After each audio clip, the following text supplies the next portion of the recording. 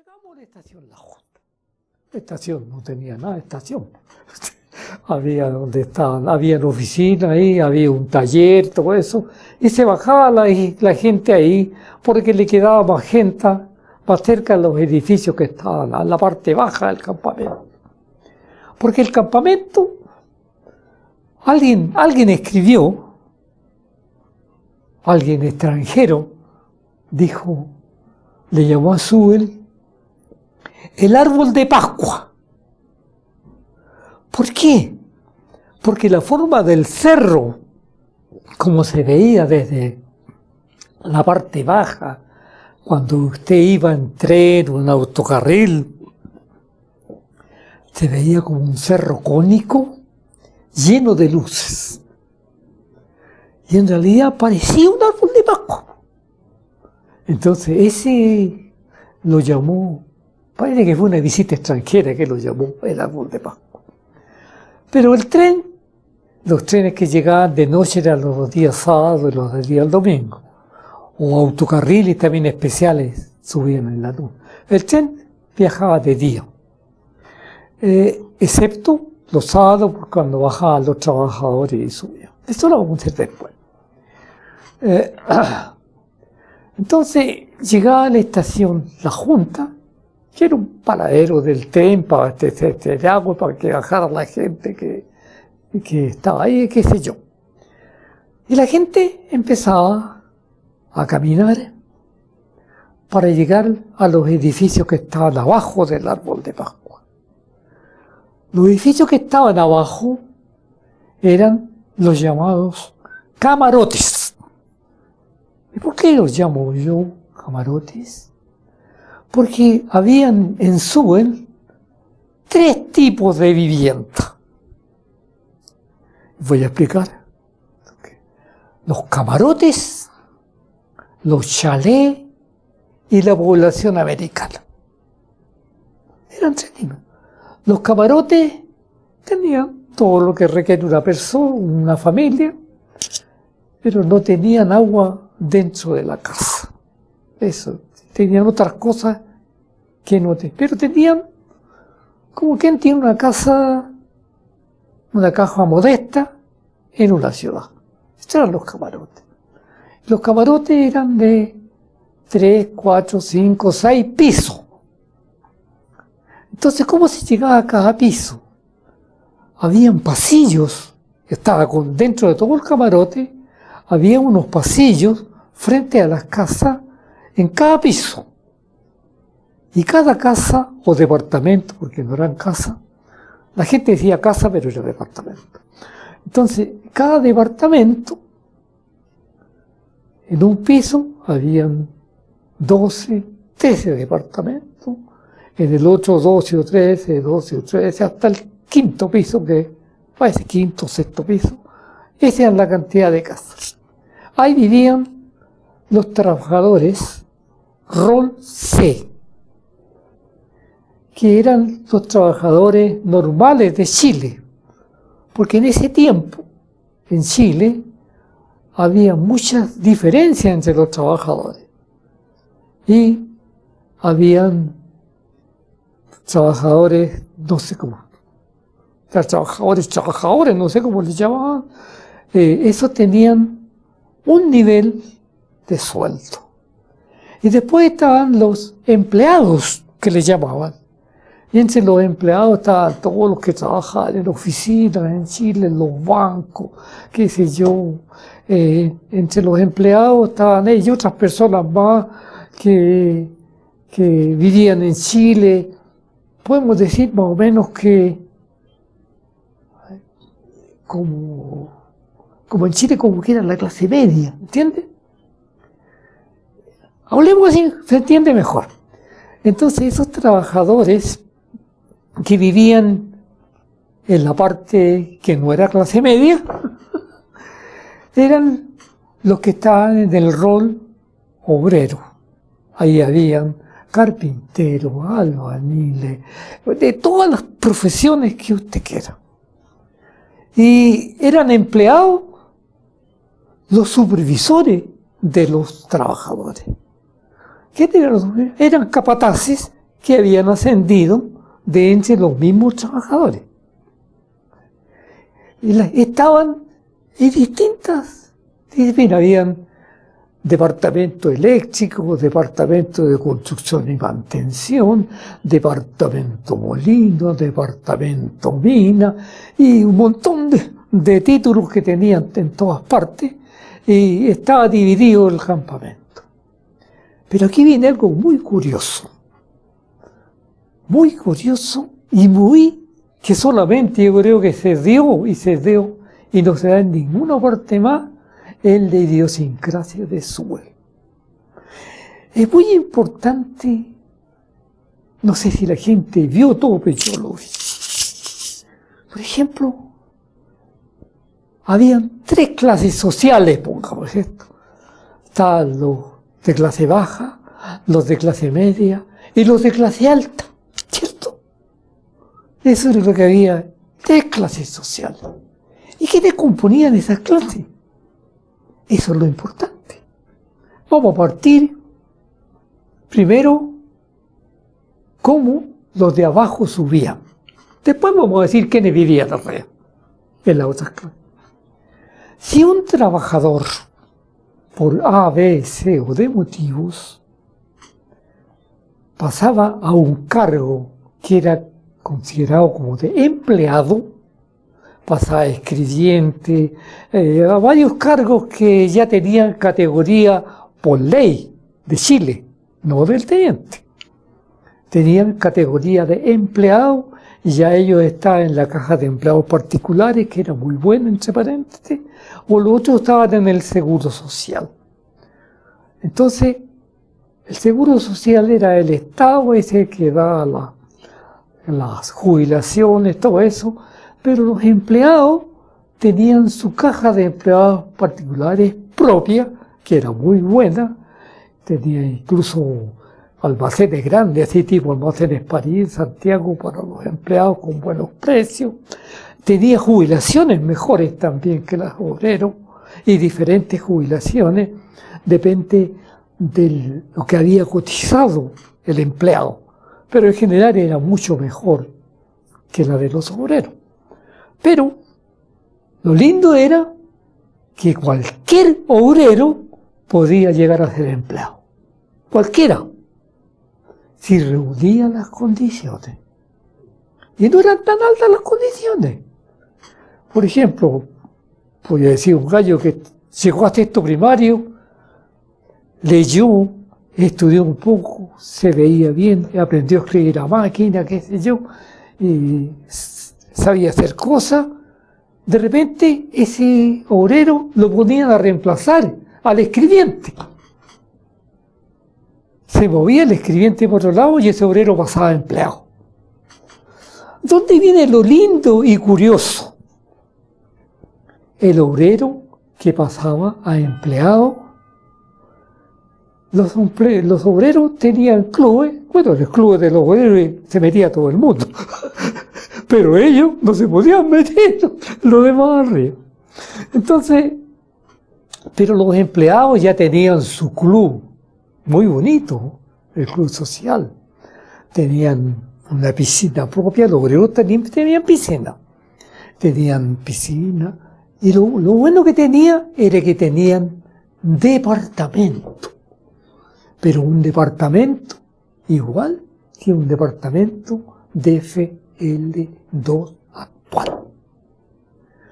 Con agua caliente, con ducha, con cocina, con dormitorio, con, con living, comedor, qué sé yo. Igual. Mejor que un departamento de eso de Santiago. Y en Suel nadie pagaba arriendo, nadie pagaba luz, nadie pagaba agua, nadie, nadie pagaba nada por vivir. Esa era la garantía que, tenían en el río. Entonces, esa gente que pasó a empleado, ¿qué pasaba? Cuando llegaba a ser empleado, el resto de los empleados, donde ya había toda categoría de gente con educación ya en este empleo. Ahí ya habían profesionales, habían contadores, habían, había gente en ese nivel ya con, con bastante educación porque el obrero no subía más por la falta de educación, nada más. Ahora si el obrero se preocupaba de estudiar, porque se podía, podía ascender. Pero no todos se preocupaban, les bastaba con, el sueldo que había. Entonces, llegaban ahí, pasaba de obrero a empleado, ¿usted cree que alguien decía, ah, este era obrero? No, empleado, era igual que todo. En los clubes, en las piscinas, en las fiestas, en todo, nadie le echaba en cara que antes había sido un humilde obrero. ¿Mm? Eso lo encontré yo. La gente no se daba cuenta de eso, pero yo me daba cuenta. Ya tenemos la primera clase social, después tenemos, llamémosle, clase media. ¿ah? Ahora falta, ¿qué pasaba con la clase alta? Bueno, en la clase media habían ingenieros, habían, habían un montón de profesiones y también había, harta gente. Y después venía la otra clase. Entre paréntesis, hasta la clase media se viajaba en tren. La clase alta viajaba en el tren. Eh, entonces, ¿quiénes vivían en la casa tipo A? ¿Y cuál era la casa tipo A? Había casas tipo A, tipo B, tipo C. La tipo A eran las casas de los de la gente que tenía mejores cargos. Si había departamentos, clase A. Ya había casas en la población que eran iguales que los departamentos, con un poco, pero era clase A también. De acuerdo a la historia de Sewell y de los chilenos, los primeros que vivieron en la clase A eran los gringos. Los gringos no eran tontos. Ellos eran empleados también. Los primeros que vivieron ahí eran los ingenieros norteamericanos en la clase A. Los gringos la población americana, puesto que quedó la población americana. ¿Y qué pasó con el tiempo? Con el tiempo pasó lo siguiente, que había un profesional en el nivel de la clase media, un profesional o un obrero que había ascendido de obrero a esa clase y era muy bueno muy buen trabajador, excelente, inteligente, todo. Entonces, ese obrero primero había pasado de empleado y enseguida podía dar el otro paso. ¿Y cuál es el otro paso? Era la población americana. Y en la población americana, además de vivir los ingenieros, los médicos, los gringos, todo eso, vivían jefes que habían empezado de obrero. Esos jefes, el resto de la gente, a esto les tenía envidia, como buenos chilenos, envidiosos y chaqueteros, ¿cierto? Así son. Entonces, pues esto no, que por chupa, por esto, ¿qué? Por chupa. Eran gallos que habían hecho cosas excelentes, ya sea en la planta, en la mina, otra parte. Pero nosotros somos chaqueteros. Entonces, subían y esa gente, claro que también ya se creían otra cosa, viajaban en autocarril, eran socios del Club de Campo de Colla, iban a jugar golf con los gringos, iban a las fiestas de los gringos y de los, de los que están. La población americana todos iban a las fiestas, los gringos, los chilenos, los gringos eran muy democráticos, eran muy democráticos. Los eran bueno, me pueden decir, este desgraciado está hablando bien de los gringos. Había una cosa que muy poca gente se dio cuenta. Yo se los cuento. Cuando un ingeniero que estaba en un cargo alto o mediano, fuera chileno o fuera gringo, había metido las patas o había hecho algo grave o no era, no hacía bien su trabajo, se decían, nadie sabía por qué lo habían echado, excepto nosotros los copucheros, por qué, pero fuera del teniente nadie sabía por qué lo habían echado, hasta los obreros sabían por qué lo habían echado al rico, o al ingeniero también, lo podían haber echado o bien porque hacía mal el trabajo, o bien porque era bueno para el trago, y en las fiestas los jefes altos estaban mirando. Miraban a todos, no a los chilenos, a los gringos y a todos. O que habían clubes donde iban puros hombres que jugaban las cartas y algunos eran jugadores y, gastaban hasta el sueldo a esos para afuera. Pero ¿qué, hacían los, jefes de, allá? Eh, le hacían la despedida en la planta, el jefe de la planta la despedía, los colegas la despedía, hablaba el jefe más alto, qué sé yo, y decía por qué se iba. El señor se iba porque había encontrado un trabajo mejor y tenía otras excelentes oportunidades en otro lado. ¿Se da cuenta? Esa era la... Entonces, ¿qué, qué pasa con eso? una manera de ser de los yanquis, que el estamento administrativo debe dar el ejemplo. Un ejemplo de esto que yo conocí, había varios, había un gerente, de agito el gerente, al reemplazar gente que tenía excelente ingeniero, muy buenas relaciones con los sindicatos. Pucha, un gallo lo tenían aquí en el teniente, lo, los, dueños, por supuesto, que están en Estados Unidos. En el 18 bailaba cueca con las ramas que se hacían arriba. Y de repente, oye, supiste que cortaron, voy a decir el apellido, al Mr. Tan. ¿Y por qué lo cortaron? Ahí empezaba la copucha a funcionar. ¿Sabes por qué lo habían cortado? Porque la señora se fue de vacaciones a Estados Unidos vivía en la población americana. Y él, vamos a decir, usted sabe por qué voy a hablar así, subió a alguien a la casa. Y como ese alguien no era muy discreto lo que estaba haciendo, lo acusaron. A la semana, ¡ah! lo. Ese es el sistema de pero nadie supo, excepto la copucha, por qué Yo le cuento esto porque es una, porque es una manera de ser que había en Suba.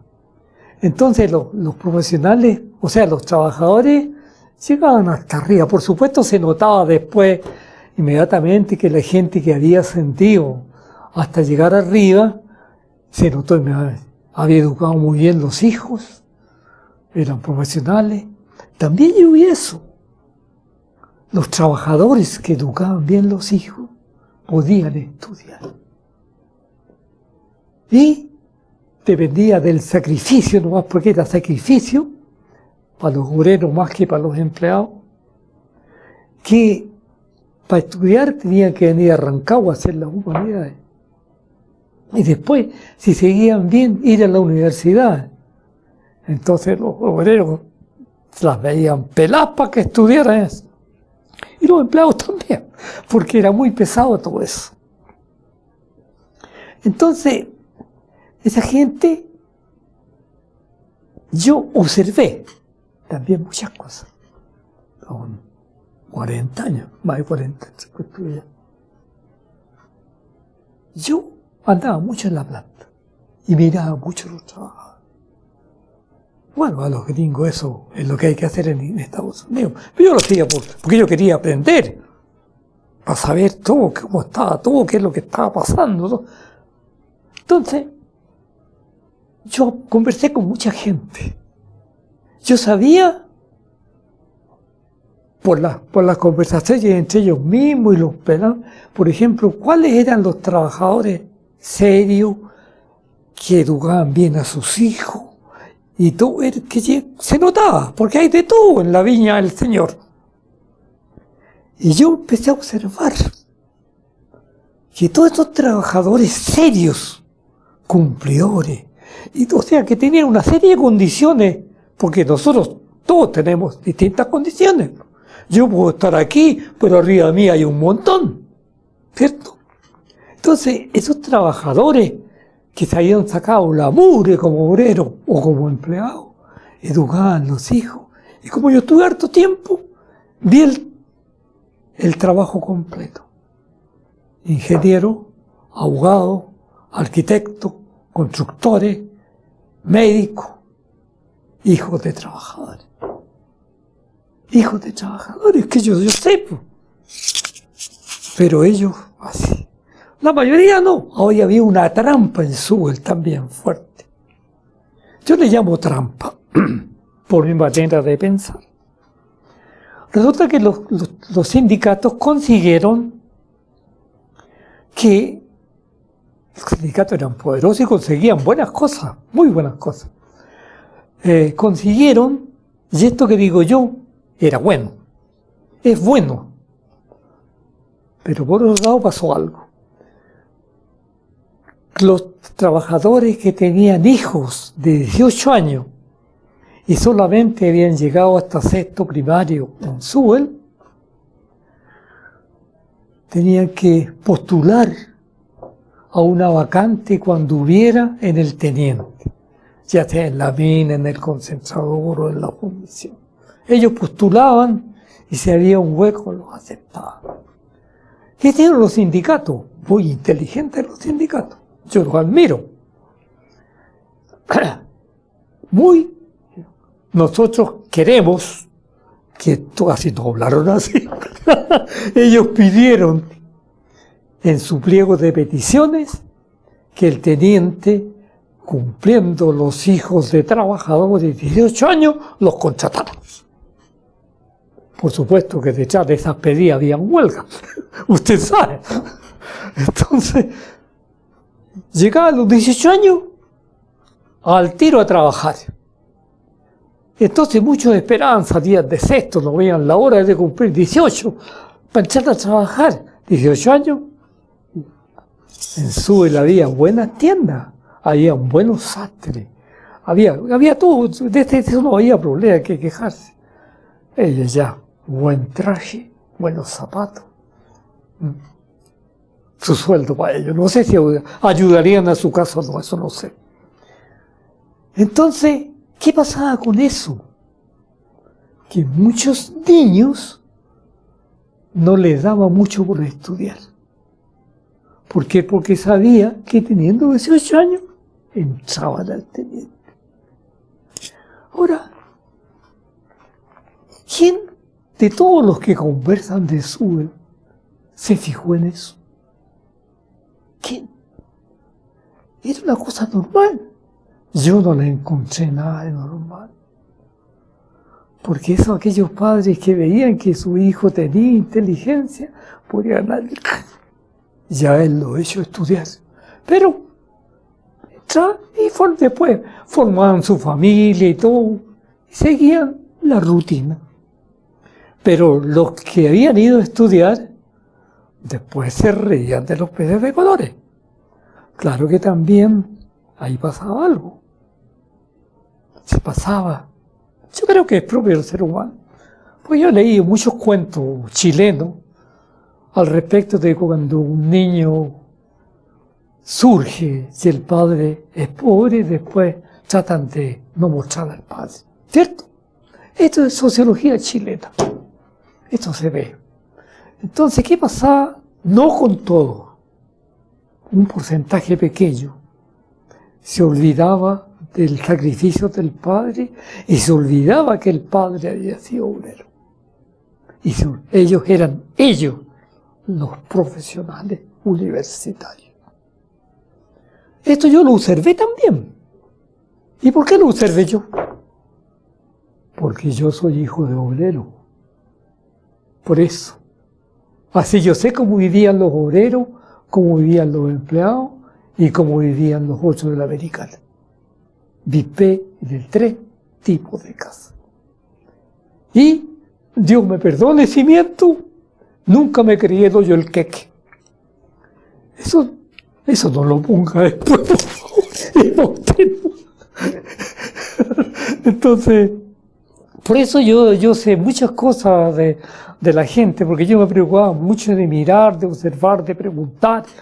Y yo conversaba mucho con los trabajadores, de dónde eran, cómo eran, de dónde venían, cuánto tiempo trabajaban, en qué escuela eran. Ah, usted estudió en la escuela 10, le decía un maestro antiguo. Sí, pues estudié yo también. y conversábamos de la escuela 10 con un maestro mecánico, que era como el papá mío. Entonces yo conversaba con ellos, pero yo mantuve la planta. Eso es historia. Para un currículum. Entonces, eh, yo por eso yo, yo, lo que quería mostrar es la idiosincrasia de la gente de Suel, que es única. En cualquier pueblo están las diferencias, ¿sí o no? En cualquier barrio hay diferencia, ¿o no? En cualquier... Siendo en Rancagua en una misma población. ¿ah? No somos democráticos y nos creemos democráticos, ¿cierto? Y a veces nos creemos cristianos también. Entonces, yo le cuento esto para ver solamente, usted borre todo lo yo creo que no sé, ¿cierto?